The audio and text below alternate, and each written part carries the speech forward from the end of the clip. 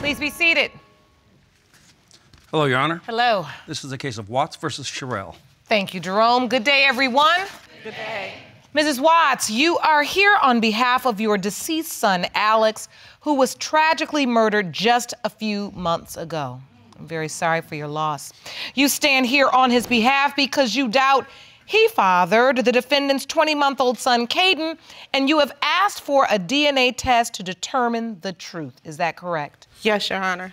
Ms. Sherrill, you say that you are 100% sure that Mrs. Watts' son, Alex, fathered your baby, Caden, and you are here to prove it. Yes, Your Honor. All right, so Ms. Watts, describe to the court how difficult this situation has been for you. Um, it's been very difficult um, over the last six months. I was called, received a phone call to come to a shooting where they said that my son was involved. When I got there, I didn't know at the time that my other son was there as well. Um, my two sons went to visit a friend who had some type of altercation with some gentlemen prior to my sons coming to visit their home. And when my two sons got there, they were ambushed and murdered. Um, oh, I'm so sorry. When I got to the scene, my older son, Lewis, he was still at the scene. He died on the scene. He was covered with a sheet. I was told that my son, Alex, had been taken to the hospital in critical condition. When I got to the hospital to see um, Alex, he had passed. He had died on arrival. Oh, dear um, God. Only thing I could do is, you know, grab my son and hold him to my, my heart. And so this, this, is, this has been very difficult for me. I am so very sorry. And now, in addition to that absolute unbearable tragedy, we have a paternity situation. Yes. Where you have now had to live with the doubt as to whether or not this beautiful little boy, Caden, is in fact your grandchild. Yes. Ms. Sherrill. Yes, Your Honor. Can you tell the court the nature of your relationship with Mr. Stewart, Alex? We were in love. Every time you seen Alex, you seen me, you seen him. You like we were always together. We planned on having a family together, having that future together, but fortunately it was cut short. How Here long anymore. have were you in the relationship? Three years on and off. Okay. And so Caden is 19 months old? Yes. Yes. And so he did get to know his father. Yes. The man you say is his biological father before he passed away. Yes. And what was their relationship like? The relationship was like a father and son bond relationship. They were like two peas in a pod. Alex loved Caden to death. Miss Sherrill, you submitted a video of Caden and Alex, which you say shows the nature of their relationship. Yes, Your Honor. And you submitted that to the court. Yes, Your Honor. Yeah, just like you don't hear what I'm saying. you mad at me now? you wanna annoy me? Mm, I don't care. Mm, oh. So in your mind, as you see that, it's your feeling that he accepted this child as his own. Yes, Your Honor. He did accept Caden as his own. To him, Caden was his child. Blood test or not, Caden was his. Does that mean that there is a possibility that Caden is not Alex's biological child because you said blood test or not? No, I'm saying that because, you know, everybody has said their words and everybody feels some type of way about when it comes to Caden being Alex's child.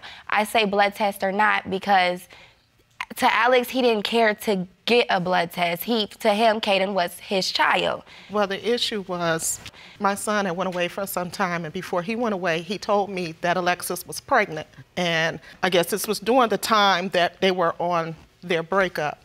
He was involved with someone else. And then when she had Caden. I said, Miss Caden, Alex's, and she said that she didn't know she needed a DNA test. She sent it to me in a text message. Do you have that text message? I do. Jerome, would you grab that evidence for me, please? Thank you.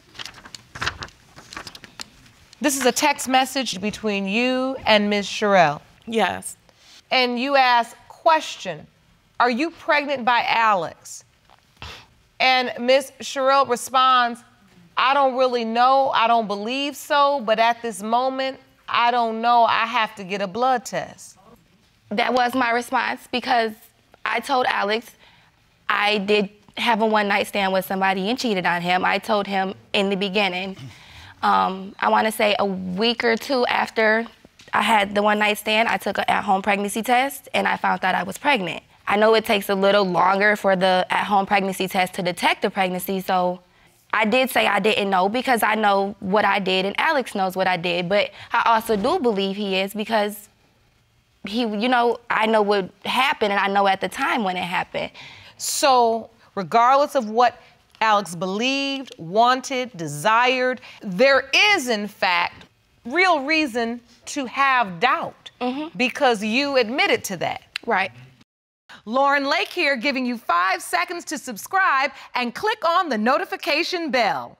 Five, four, three, two, one. Alex did want to keep the whole pregnancy a secret. He not he did not want nobody to know about the pregnancy. or- Why is that? He Alex was a secretive person. He did not like people in his business. And at the same time, I didn't tell my family I was pregnant either. So we both decided to keep this a secret. He was a private person. And so you can see how your son may have said, let's keep this to ourselves. He was private about other people being in his business. I know him and I had a good relationship, and he talked with his stepdad a lot.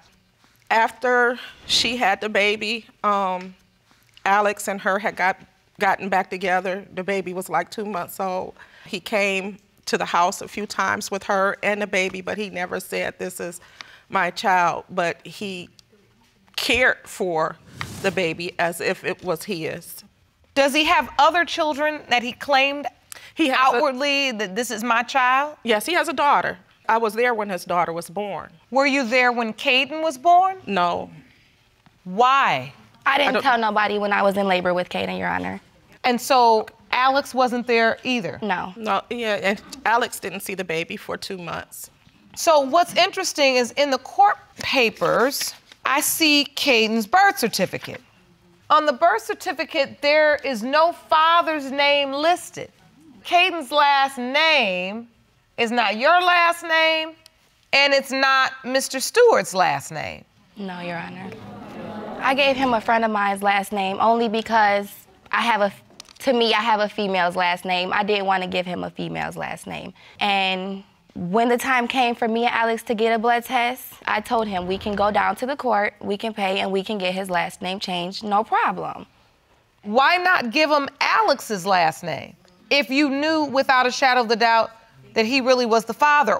Um, I may have had a little doubt in my mind. I just didn't want to make a mistake. I'd like to hear from your witness. Sir, would you please stand at the podium?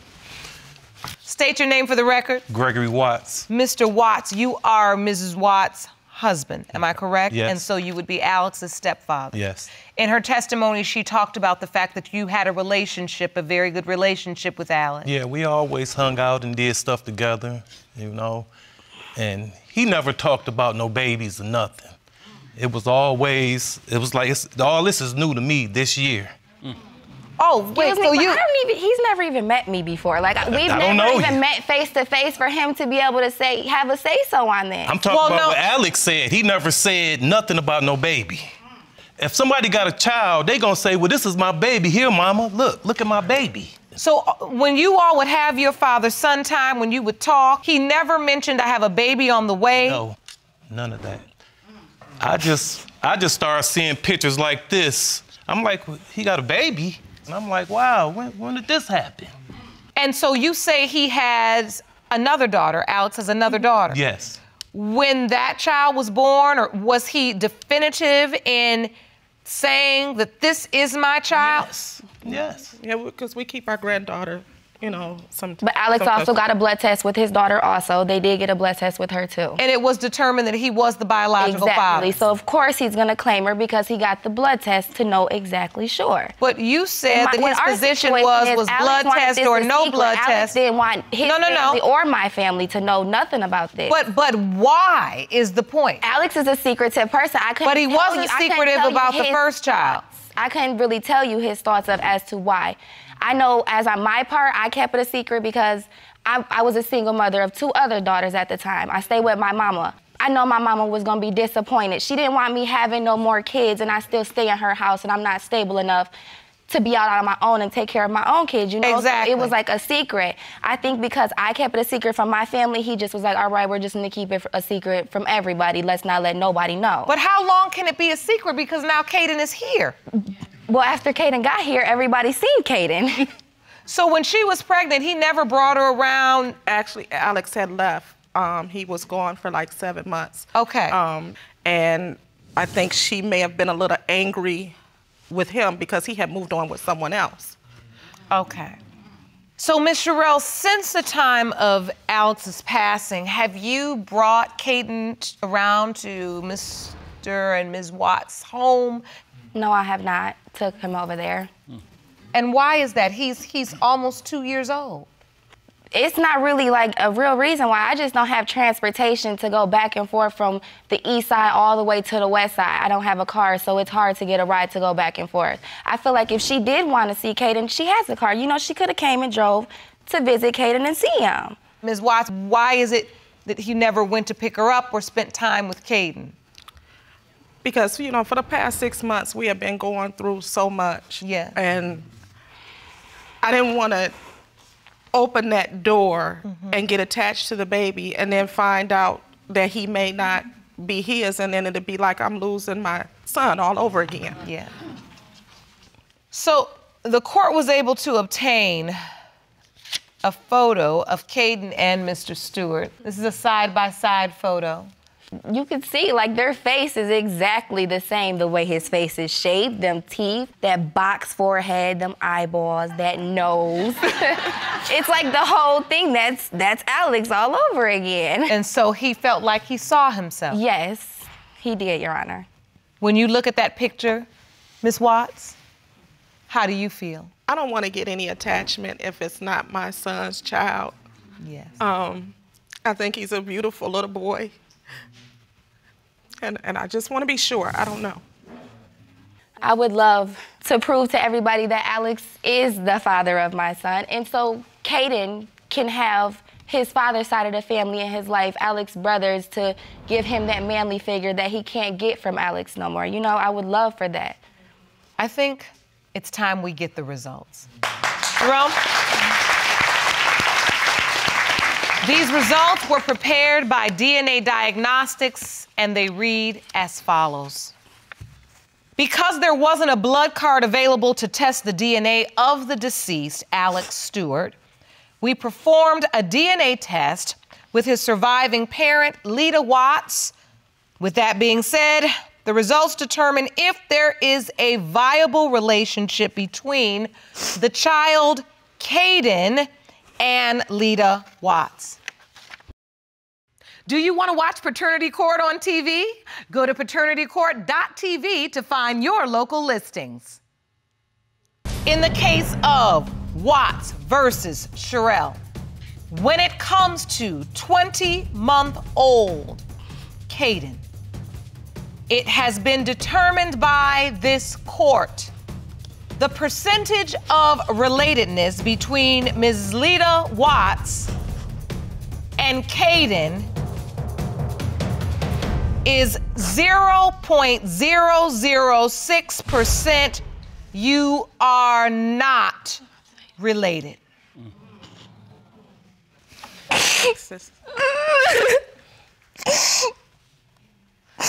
Alexis, I have to ask you do you know where Caden's biological father is? No, I haven't talked to that guy since I got back with Alex. I know this was not the news you wanted, but I do believe you knew somewhere deep down inside that this was a very real possibility. It's just that relationship Alex had with Caden. It was like Alex to Alex, Alex knew Caden was his son. Alex took that picture himself, laying on the bed, like, come on, Caden, let's say cheese. like, to Alex, this was his son. And Caden does have the right to know his biological father as well. And even though you will always have those memories, you can tell him growing up that there was an amazing man who loved him and cherished him and treated him just like he was his own. But you have to also do the work necessary to make sure he has the opportunity to know his biological father and do this sooner rather than later. He's just 20 months old now, 19 months old now. This is good. He can be in a position, if you do the right thing, where this can be behind him before he has the opportunity to know any of this happened, right? Yes, Your Honor. Mr. and Ms. Watts, I'm very sorry for your loss. Thank you. I know this is difficult, and I know in many ways there was a part of you that thought this could potentially be another piece of Alex that he left behind. And I'm sorry that I was not able to give you that answer today, but I am. I'm pleased that I could give you the truth because you need that. Yes. Yeah. I wish you the very best of luck. Please go talk to Dr. Jeff. Take advantage of the counseling and the resources we have for you and take care of that beautiful little boy and your other children, okay? Thank you, Your Honor. Court is adjourned.